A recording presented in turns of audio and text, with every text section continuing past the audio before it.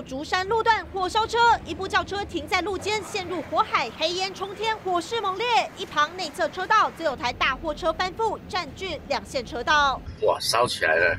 事发在清晨五点多，轿车烧成焦黑，被吊车载离。接近上班时间，事故路段还一度回堵塞车。幸好四十七岁轿车男驾驶命大，只有头和手受到撕裂伤。而四十五岁大货车驾驶被验出酒测值零点五六毫克，他头部也有五公分撕裂伤，两人通通送医治疗。一度封闭南向多车道，现场于六点四十四十五分排除。国道三号彰化和美路段也发生车祸，一部轿车打滑自撞，停在内侧车道，只见后方来车纷纷闪避。国道高速行驶，一个不留神就会出状况，驾驶可得小心再小心。记者曾伟祥、陈胜伟、陈国仁、王世涵南投彰化采访报道。